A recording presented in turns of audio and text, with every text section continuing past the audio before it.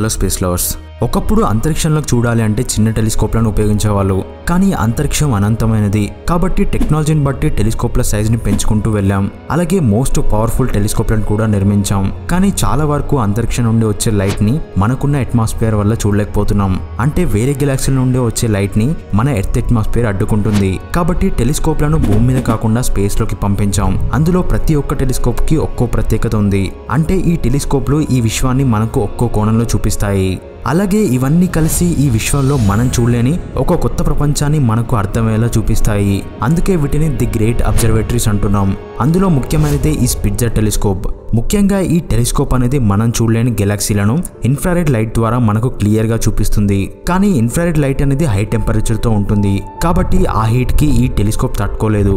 అలాగే ఇన్ఫ్రారెడ్ లైట్తో యూనివర్స్ని చూడాలి అంటే ఇది చాలా చాలా కూల్గా ఉండాలి. కాబట్టి ఈ సూర్యుడి నుండి వచ్చే టెంపరేచర్ నుండి తప్పించుకోవడానికి ఈ టెలిస్కోప్ భూమి నుండి కొంచెం డీప్ స్పేస్లోకి వెళ్ళాల్సి వచ్చింది. ఆ తర్వాత దీనికున్న కూలింగ్ టెక్నాలజీతో కూల్గా మారి ఈ విషయంలో మనం చూడలేని ఎన్నో నెబ్బిలాలను అందులోని నక్షత్రాలను మనకు చూపించింది.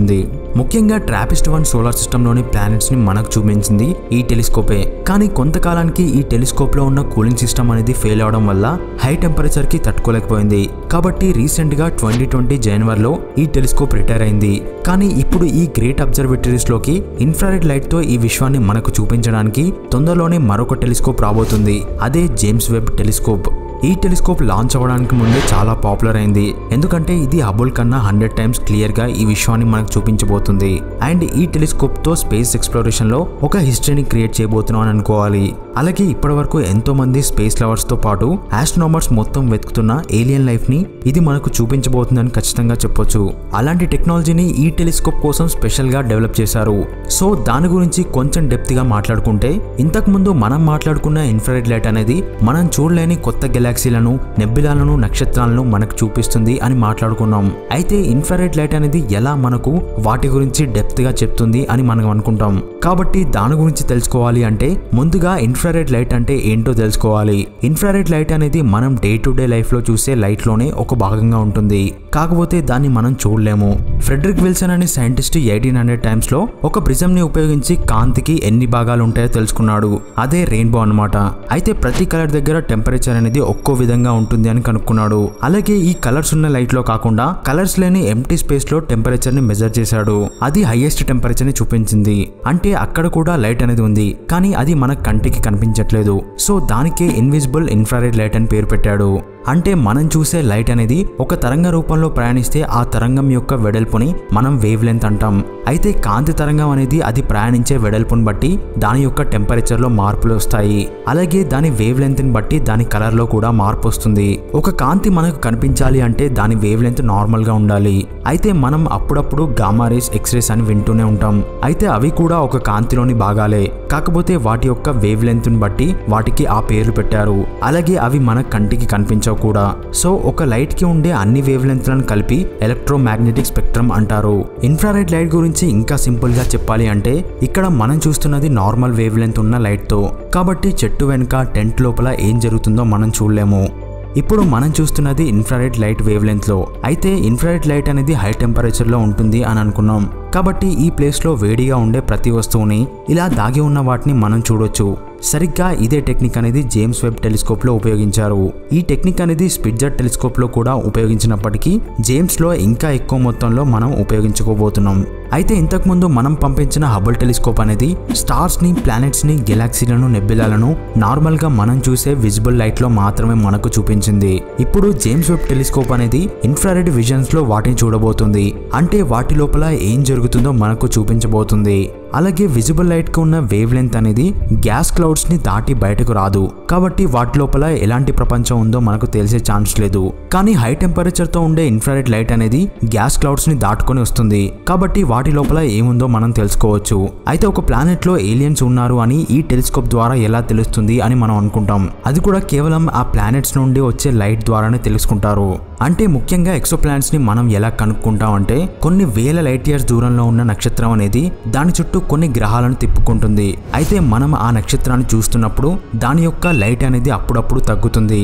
దానికి కారణం ఆ నక్షత్రం చుట్టూ ఉండే గ్రహాలు దానికి అడ్డుగా వచ్చినప్పుడు దాని లైట్ ఫ్రీక్వెన్సీ అనేది కొంత తగ్గుతుంది. కాబట్టి అక్కడ తగ్గే లైట్ ఫ్రీక్వెన్సీని బట్టి అక్కడ ఒక గ్రహం ఉందని కన్ఫర్మ్ చేస్తారు. అయితే ఈ పద్ధతి గురించి కొంతమందికి తెలిసే ఉంటుంది. అయితే ఇదే ప్రాసెస్లో ఆ నక్షత్రం యొక్క లైట్ అనేది మన టెలిస్కోప్కి చేరుకుంటుంది.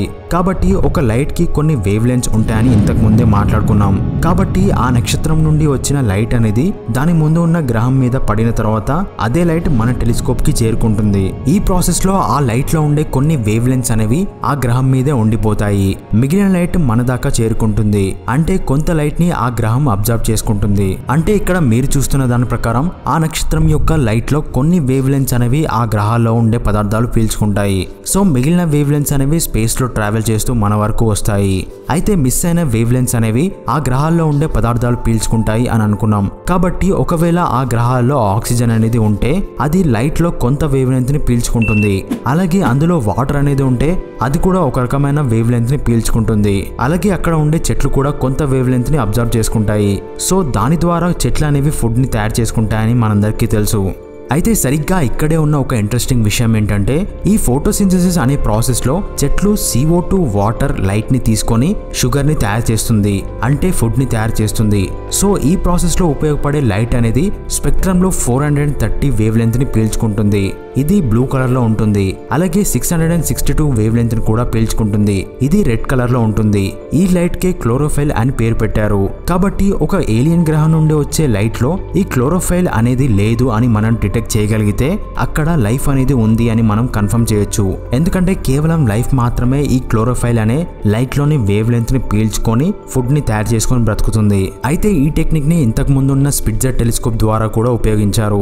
కానీ దానికంటూ ఒక లిమిట్ ఉంది. కాబట్టి అంత అక్యురేట్గా మనం చూడలేకపోయాం. అయితే ఈ టెలిస్కోప్ ద్వారా కేవలం ఏలియన్ లైఫ్ నే కాకుండా ఈ విశ్వంలో అత్యంత దూరంలో ఉండే గెలాక్సీలను కూడా చూడబోతున్నాం. అంటే బిగ్ బ్యాంగ్ జరిగిన తర్వాత గెలాక్సీలు అనేవి ఎలా ఫామ్ అయ్యాయి?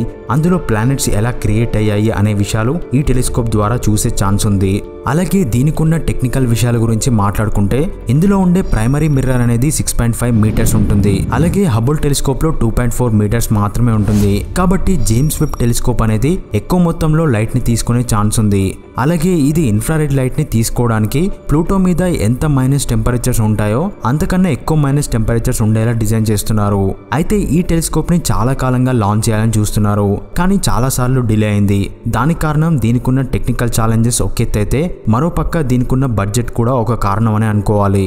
అంటే దాదాపు వెయ్యి కోట్ల యుఎస్ డాలర్స్తో ఈ టెలిస్కోప్ని తయారు చేస్తున్నారు. అయితే ఇంత బడ్జెట్ పెట్టడానికి కారణం ఏంటంటే దీనికోసం ఆర్ఎండి డిపార్ట్మెంట్ మీదనే ఎక్కువగా ఖర్చు పెడుతున్నారని తెలుస్తుంది.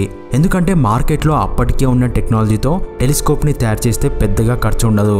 కానీ ఈ టెలిస్కోప్ కోసం కొత్తగా టెక్నాలజీని డెవలప్ చేయడం కానీ కొత్తగా ఇన్వెన్షన్స్ చేయడం లాంటివి చేస్తున్నారు. కాబట్టి ఇంత టైం తీసుకుంటూ బడ్జెట్ కూడా పెంచుకుంటూ పోతుంది నాసా. ఇప్పటికైతే ఈ టెలిస్కోప్ని రెండు వేల ఇరవై ఒకటిలో లాంచ్ చేయాలని చూస్తున్నారు. కానీ ఇది ఇప్పటికే రెండు వేల పదిహేడులోనే లాంచ్ అవ్వాల్సి ఉంది కానీ టెక్నికల్ ప్రాబ్లమ్స్ వల్ల దీన్ని డిలే చేస్తూ వచ్చారు. సో రెండు వేల ఇరవై ఒకటిలో అయినా దీన్ని పంపిస్తారో లేదో చూడాలి. అయితే ఇదంతా చేసేది కేవలం విశ్వం పుట్టుకకు సంబంధించిన రహస్యాలు తెలుసుకోవడానికి అలాగే ఇతర గెలాక్సీల్లో ఉండే ఏలియన్ లైఫ్ని కనుక్కోవడానికి మాత్రమే. అండ్ ఈ టెలిస్కోప్తో ఇంకో పది సంవత్సరాల్లో తప్పకుండా మనం ఏలియన్స్ని కనుక్కోబోతున్నాం అని చెప్పుకోవచ్చు. మన అదృష్టం బాగుంటే నెక్స్ట్ ఫైవ్ ఇయర్స్లోనే ఏలియన్స్ని చూస్తాం. ఎందుకంటే ఈ టెలిస్కోప్ అనేది కేవలం ఫైవ్ ఇయర్స్ మాత్రమే స్పేస్లో పనిచేస్తుంది. కానీ పది సంవత్సరాలు పనిచేసేలా చేయాలి అనేది నాసా టార్గెట్. సో ఒకవేళ ఈ టెలిస్కోప్తో ఏలియన్స్ని కనుక్కుంటే ఏలియన్స్ని ఫస్ట్ టైం చూసిన జనరేషన్గా చరిత్రలో మిగిలిపోతాం అని అనుకోవాలి.